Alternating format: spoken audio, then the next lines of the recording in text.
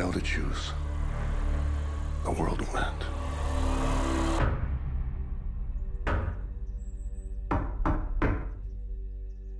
Knock at the Cabin is the new film from M. Night Shyamalan. So who's ready to see what M. Night cooked up this time? While vacationing, a girl and her parents are taken hostage by armed strangers who demand that the family make a choice to avert the apocalypse. All jokes aside, I really respect M. Night Shyamalan as a filmmaker.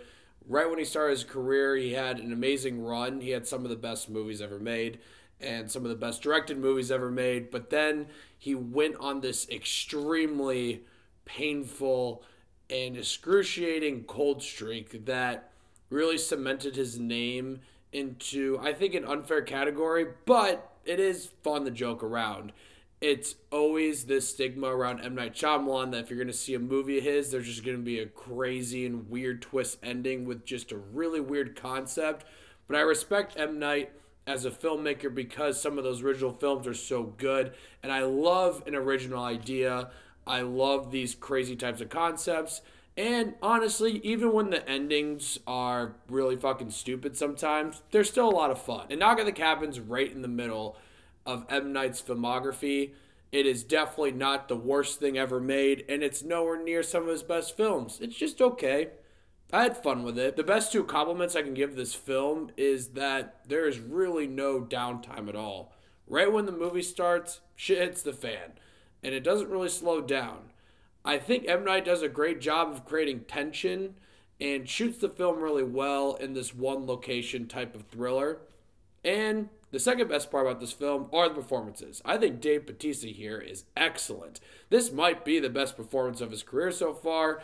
I can't think of anything else that's on my head. He is a great actor. I love that he's getting so much work outside of the MCU. But here he's this really scary and intimidating presence, but also he's like really timid and careful. And there's a lot of conflict with his character and all the other characters too.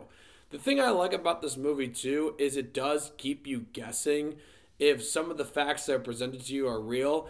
I think that's a mixture of the filmmaking itself, and then also just the name M. Night Shyamalan because you really never know what to expect when you see a film like his. And I think all that works really well. I guess why I didn't think this movie was like a 10 out of 10 is sometimes the whole plot of the movie and some plot elements can be a little silly. There's stuff that happens on the TV that is a little silly and characters do certain things that kind of take you out of the experience and some of the dialogue is just sort of okay. And yeah you probably want to hear about the ending. Obviously won't talk about it. Don't want to spoil it for you guys. But i thought it worked well. And i guess it wasn't what i was expecting. I guess i was bracing for some crazy reveal or something completely different to happen because maybe just the name m. Night Shyamalan.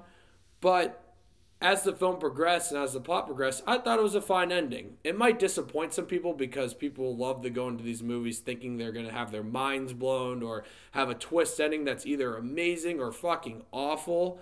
And here, I can't say too much about it. I just thought it was fine. I thought it worked well with the film. Yeah, I think overall, M. Night did a good job directing the tension in this film, and there are some parts of it I thought were fun.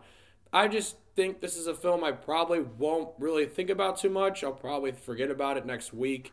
But it was a fun time. I thought it was okay. And it's definitely not one of the worst films M. Night's ever made. It's not one of the best films he's ever made, but I thought he did a good job as a director. And if you're a fan of his, I think you'll enjoy the film. I'm going to give Knock at the Cabin 6.5 Davey Daves. I really do respect M. Night as a filmmaker. He has inspired a lot of other filmmakers. He has made a lot of great films. It does kind of suck that he is sometimes a butt of a joke, and I can't be innocent to that. I make jokes all the time about it. But he really is a good filmmaker. And I'm happy that he still gets the clout to where he makes films like this because I love seeing a new M. Night film it can be exciting. You really don't know what you're going to expect, and that's hard to do these days. So, knock at the cabin. Let me know what you guys thought of it once you've seen it. I'm curious to hear, and thank you, thank you, thank you so much for watching. Click here to see more of Dave Dave's Takes.